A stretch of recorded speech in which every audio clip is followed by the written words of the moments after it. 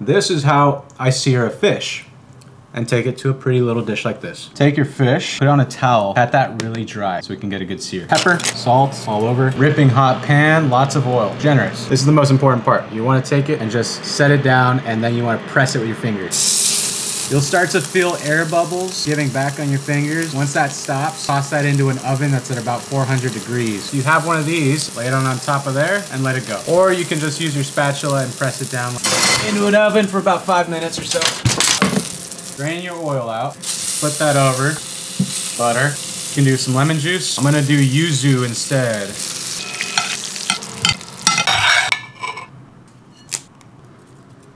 And that's a seared fish. That's a good fish.